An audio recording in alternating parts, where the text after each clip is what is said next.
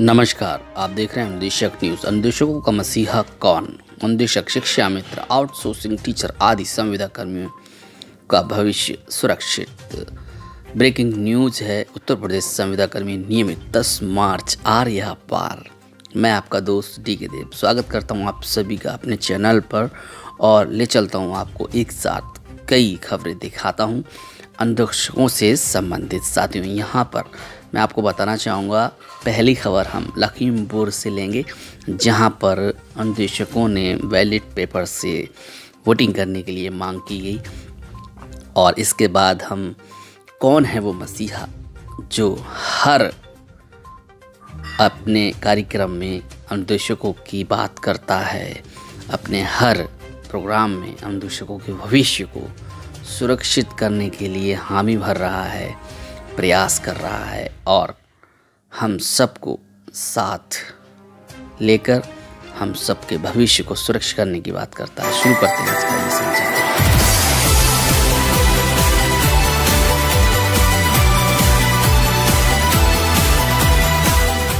दोस्तों, शुरू करने से पहले एक छोटा सा निवेदन, अगर आप चैनल पर नए हो, चैनल को सब्सक्राइब करें बेल आइकन दबाएँ।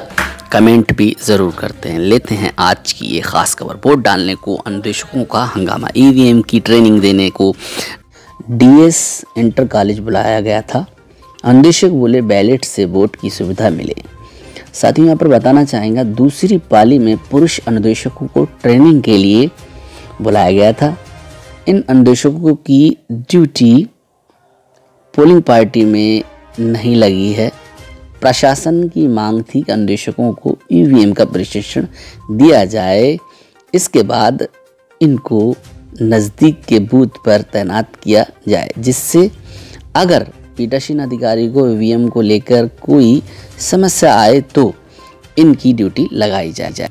प्रभारी अधिकारी ट्रेनिंग का कहना है कि अन्वेषक बिना ड्यूटी लगे वोट डालने की बात कर रहे थे बैलेट से, लेकिन उनको समझाया गया कि आप सिर्फ़ ट्रेनिंग में सहयोग के लिए लगे हैं इसलिए वोट नहीं डाल सकते आप बैलेट से। अगला सम, अगला समाचार आप देख रहे हैं। लगातार अनुदेशक लीडर सुप्रीमो सपा से मिल रहे हैं और उन्होंने वादा भी किया है कि हम अनुदेशकों को नियमित अवश्य करेंगे। ओपीएस सरकारी कर्मचारियों शिक्षा में अनुदेशकों पर मुलायम सिंह यादव की मौजूदगी में आज महारैली में माननीय मुलायम सिंह यादव जी की मौजूदगी में पुरानी पेंशन को लेकर घोषणा की गई। साथ ही अन्वेषक और शिक्षा मित्रों की समस्याओं को जल्द से निपटाने का भी वादा किया गया।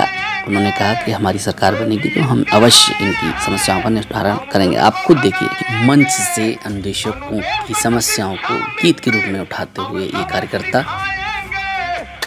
एक शेर है कि बात निकलेगी तो दूर तलक जाएगी। साथियों, आगे का समाचार हम आपको दिखाएँगे किस तरीके से सपा, मुखिया अखिलेश यादव जी ने अन्वेषकों को नाम लेते हुए विस्तारण करने के लिए अपनी बात कई बार कई अपनी रैलियों में कहा है। मैं बारी बारी से उन रैलियों का फुटेज दिखाने की कोशिश कर रहा हूँ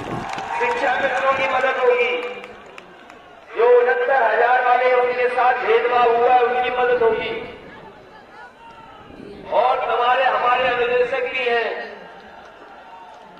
तमाम हमारे बीएड बीपीएल वाले हैं बीडीसी वाले हैं इनकी भी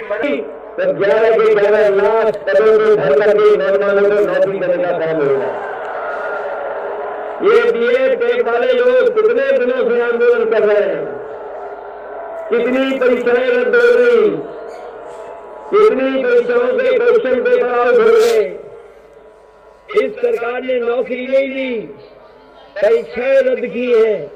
समाजवादी सरकार बनेगी तो बी ए टेट के लोगों की भी मदद करने का काम समाज सरकार में होगा। हमारे शिक्षा मित्र वाले भी होंगे बीपीएड वाले भी हैं, और उनहत्तर हज़ार वाले जिनके साथ भेदभाव हुआ है, भेदभाव हुआ जिनके साथ, भेदभाव हुआ है हमारे उनहत्तर हज़ार वालों से, और बीटीसी वालों के लिए कोई मदद करेगा तो समाजवादी सरकार में मदद होगी। इसलिए नौकरी और रोज़गार मिले, जिससे हमारे नौजवानों का भविष्य बेहतर हो जाए। समाजवादी सरकार बनने पर हमारा मैनिफेस्टो बड़ा होगा आप लोगों ने। समाजवादी पार्टी ने जो हमारे सरकारी कर्मचारी हैं, उनकी भी मांग मान ली है। और कहा कि सरकार बनेगी तो पुरानी पेंशन बहाल कर करके उनके भी सम्मान का काम हमारी सरकार में होगा। बिजली को लेकर समाजवादी पार्टी ने कहा है। कि सरकार बनेगी तो तीन सौ यूनिट बिजली फ्री दी जाए